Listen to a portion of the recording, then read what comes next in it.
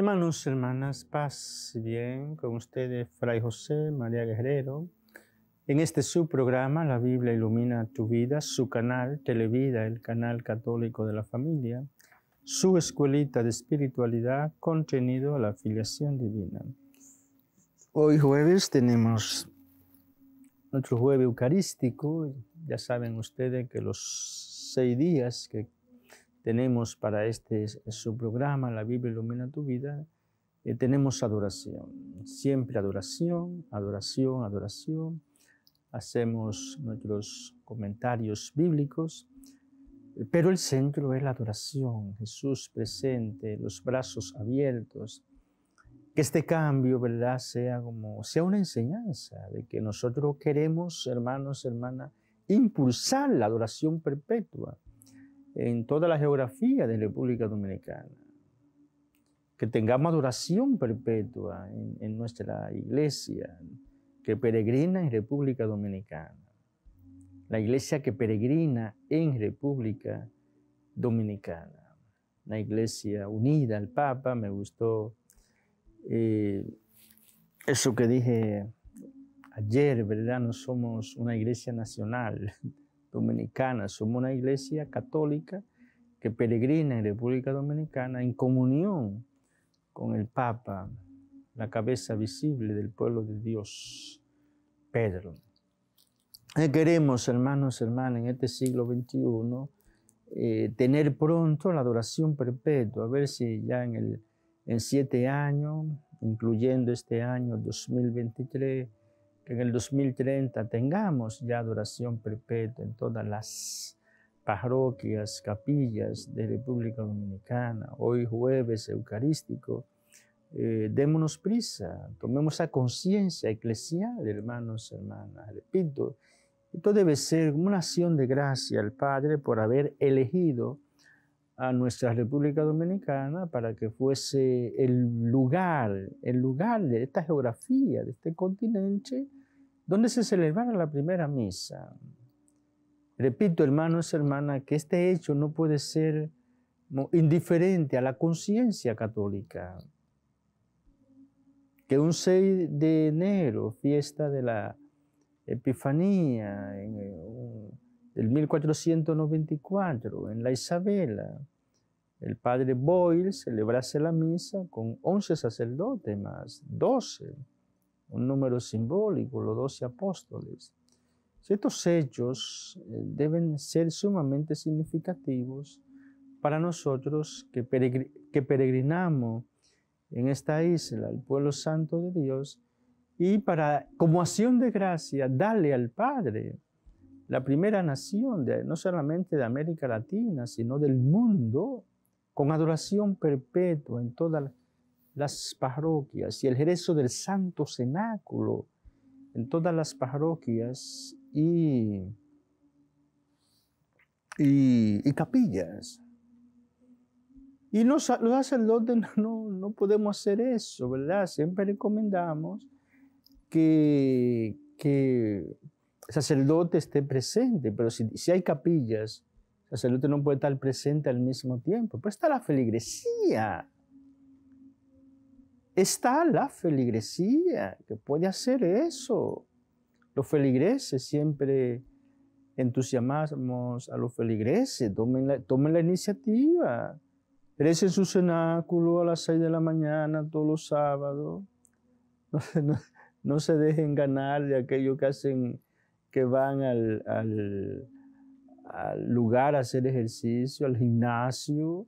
Ellos se levantan temprano, hacer ejercicio, levantémonos nosotros más temprano aún hacer este ejercicio espiritual del Santo Cenáculo. Démonos prisa, hermanos, hermanas, los brazos en altos, los brazos en altos para cambiar el curso de la historia. Hoy celebramos la memoria de dos discípulos aventajados de, de Pablo, Timoteo y Tito. Y leemos en la oración de Jesús el verso 23, capítulo 17, dice, yo en ellos y tú en mí, para que sean perfectamente uno, y el mundo conozca que tú me has enviado y que los he amado a ellos como me has amado a mí. Qué profundidad, hermanos, hermanas, ¿Qué a qué grado de intimidad trinitaria nos llama Jesús. ¿A qué grado? Por eso no podemos eh, creer que hemos llegado. La espiritualidad es un horizonte abierto, ilimitado. Yo en ellos y tú en mí, Jesús en nosotros, Jesús en la colectividad del pueblo de Dios en cada hombre, en cada mujer, en, cada bautizado, hermanos y hermanas. Somos más de mil millones de bautizados. Y eso está en cada bautizado, en cada niño, en cada niña, en cada adolescente. Está Cristo. Yo en ellos y tú, Padre en mí. Jesús en nosotros, el Padre en Jesús para que sean perfectamente. Nuevamente, hermanos hermanas, eh, cuando comprendemos esto, entonces llamamos a Jesús, se viene este deseo de unidad. Fíjense, en el versículo 21 Jesús habla de la unidad, pide la unidad de, de su iglesia. Versículo 22 pide la unidad de su iglesia. Versículo 23 pide la unidad de su iglesia y una iglesia sumamente dividida, sumamente dividida, sumamente dividida. Gracias a Dios que al Padre, ¿verdad? Que por lo menos en esa división hay una iglesia que refleja más que ninguna otra la unidad, la iglesia católica. La iglesia católica. Siempre pienso en, conozco pentecostales que son pentecostales, pero están en iglesia diferente. Solamente lo une el nombre, pero no la realidad. Pentecostales en iglesias diferentes, en lugares de reunión, no, no, se, no se visita, no se, no. Tienen su iglesia, su esta unidad de cat, no, yo, yo voy a cualquier parroquia. No tengo una única parroquia. Yo voy a cualquier parroquia.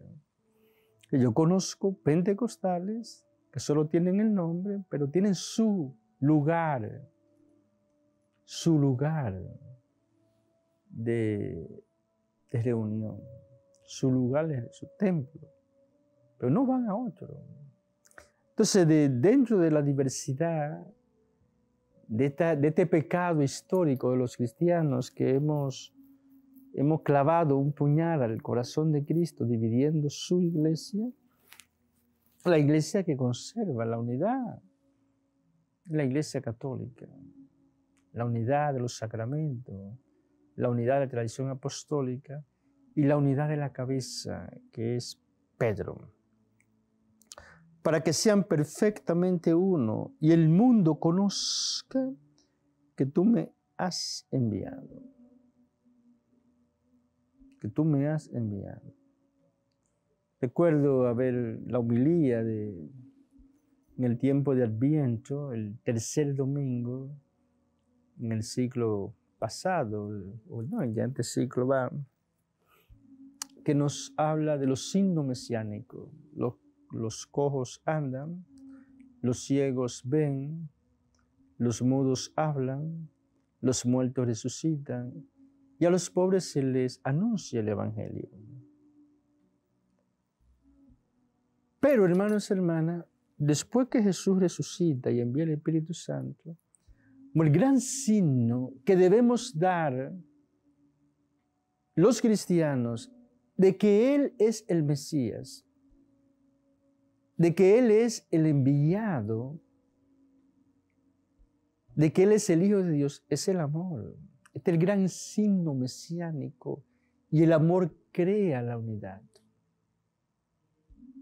Estos versículos de la unidad debemos entenderlo a la luz del verso de los versículos 34 y 35 del capítulo 13 de San Juan. Leámoslos. Estos versículos dicen, os doy un mandamiento nuevo, que os améis los unos a los otros, que como yo os he amado, así os améis también vosotros los unos a los otros. En esto conocerán todos que, son, soy discípulos míos, si os tenéis amor los unos a los otros. Este versículo que estamos leyendo, donde Jesús ora por la unidad de la iglesia, hay que entenderlos a la luz de todos los versículos. El amor entre nosotros crea la unidad y el mundo comprenderá y creerá que Jesús es el Mesías y que nosotros somos sus discípulos. Por eso, hermanos, hermanas, tan importante este amor que crea la unidad. Debemos preocupar, ocuparnos y preocuparnos y tener sumo cuidado, hermanos, hermanas, sumo cuidado de no dividir la iglesia de Cristo. Que por eso digo, es el gran pecado histórico de los reformadores. No haber cometido adulterio, fornicación, haber matado, haber asesinado. No, haber dividido la iglesia de Cristo y quitarle a esa iglesia de Cristo cosas esenciales que el Maestro dejó, como la Eucaristía, los sacramentos, la vida religiosa y la tradición apostólica. Yo no puedo estar inventando cosas. Y es lo que yo le digo a mis hermanos evangélicos, que ellos, esta verdad yo no, la creen, pero no, no lo dicen así, pero es lo que ellos creen. La iglesia de Cristo, el pueblo de Dios, después de la muerte de Juan, continúa en la, historia, pero guiada por el diablo. ¿eh? Ese razonamiento de los evangélicos. La iglesia, el pueblo de Dios, después de la muerte de Jesús, sigue en la historia, pero guiada por el diablo. Desapareció todo. Todo, todo, todo. Y hubo que esperar a Martín Lutero.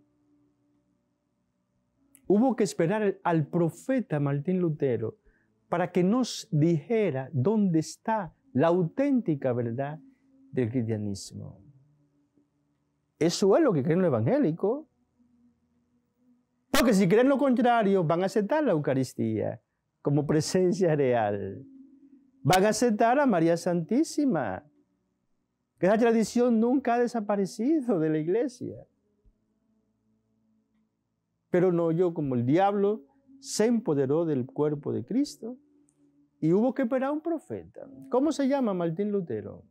Y él nos dice, señores, esta es la verdad de la iglesia de Cristo. No crean en los sacerdotes, no crean en el Papa, no crean en la Eucaristía. Todo eso es falso. Ay, Dios mío. Eso es lo que creen los evangélicos, hermano. Eso es lo que ellos creen. El cristianismo desapareció, el diablo se lo comió.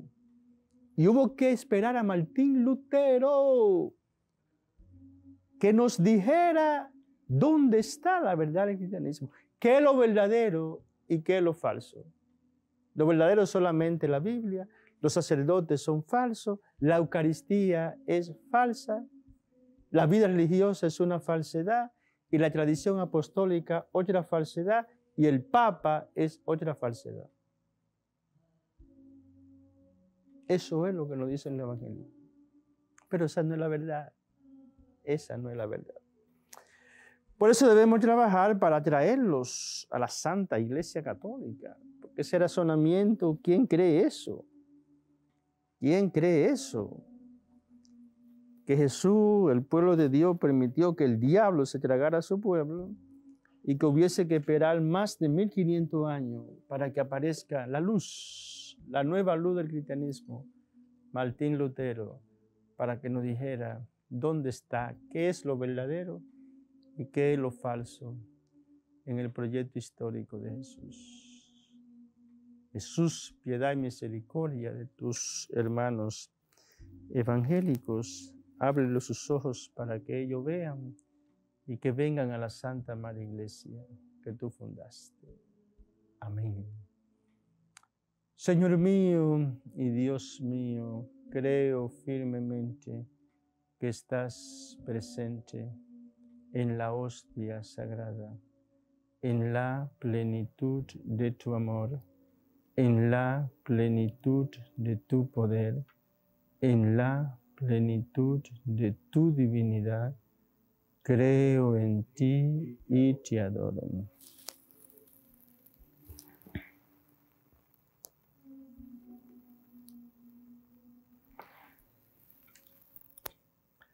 Padre infinitamente bueno, infinitamente santo, infinitamente amado, concédenos el don del Espíritu Santo para que durante la jornada de este día podamos pensar, hablar, sentir, imaginar y actuar como hijos tuyos a imagen de Jesucristo, tu Hijo amado. Amén. Silencio, intimidad, presencia, adoración. Jesús, háblanos al corazón, sedúcenos, llévanos a tu desierto y háblanos al corazón.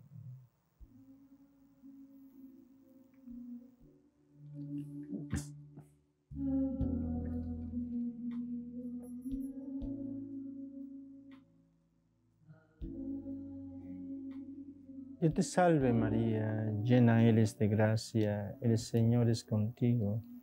Bendita eres entre todas las mujeres, bendito es el fruto de tu vientre Jesús.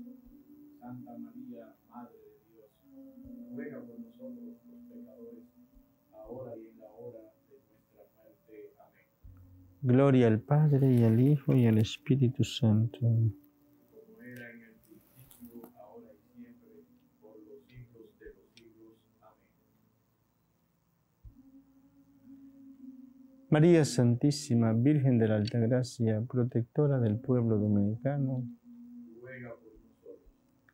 María Santísima, Virgen de las Mercedes, patrona del pueblo dominicano, Amado, eterno y adorado Jesús, Hijo del Dios vivo, eres el buen samaritano que nunca pasa de largo ante una necesidad humana. Te suplicamos por la intercesión de María Santísima de San José, que tú pongas en cada televidente, en cada miembro de su familia, el vino que tú sabes hace falta. Tú que vives y reinas por los siglos de los siglos. Confío. Jesús, en ti confío. Jesús, en ti confío. Jesús, en ti confío. Jesús, en ti confío.